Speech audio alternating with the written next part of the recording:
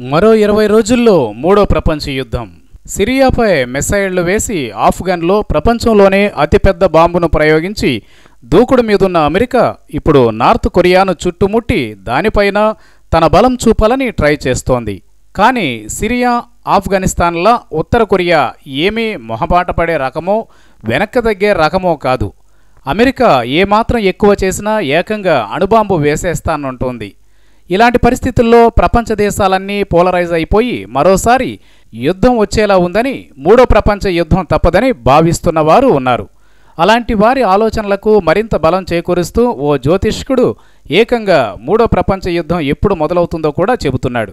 హోరిసియో విలేగస్ అనే ఓ జ్యోతిష్కుడు ఈ ఏడాది మే పదమూడున మూడో ప్రపంచ యుద్ధం ప్రారంభమవుతుందని చెబుతున్నాడు. పెను విధ్వంసం అపార నష్టం భారీ మరణాలు ఈ యుద్ధం వల్ల సంభవిస్తాయని అంటున్నాడు. ఎప్పుడు ప్రారంభమవుతుందో చెప్పడమే కాదు ముగింపు తేదీని ఆయన ప్రకటించాడు. అక్టోబర్ పదమూడున ఈ యుద్ధం ముగుస్తుందని జోస్యం చెప్పారు. కాగా విలేగస్ జోస్యాన్ని కొందరు నమ్ముతున్నారట. అందుకు కారణం కూడా ఉంది. డొనాల్డ్ ట్రంప్ అధ్యక్షుడవుతారని రెండు వేల పదిహేనులోనే విలేగస్ జోస్యం చెప్పారు. ఆయన చెప్పినట్లుగానే ట్రంప్పై ఎంత దుష్ప్రచారం జరిగినా కూడా గెలవగలిగారు. దీంతో ఆయన మాటలను లైట్గా తీసుకోవడానికి వీల్లేదని అంటున్నారు.